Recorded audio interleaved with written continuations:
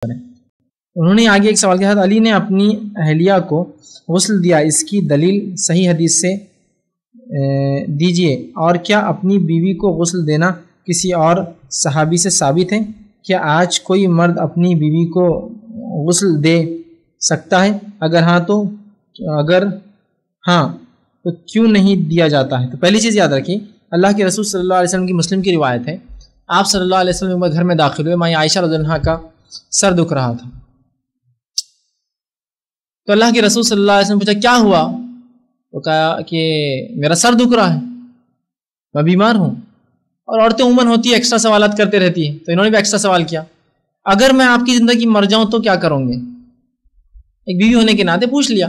تو اللہ کے رسول نے کہا، اگر تم میری زندگی میں عائشہ مر جاتی ہو، تو میں تمہیں نہلاؤں گا، تمہیں کفناؤں گا تیری نماز جناز نمازہ پڑھوں گا اور تیری مغفرت کی دعا کروں گا۔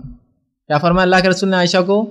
اگر تو میری زندگی مر جاتی ہے عائشہ، تو میں تجھے نہلاؤں گا، کفناؤں گا، جنازے کی نماز پڑھوں تیری مغفرت دعا کروں پھر اللہ کے رسول نے پوچھا، عائشہ، تم بتاؤ، میں مر جاؤں تو میں تمہاری زندگی تم کیا کروں گی؟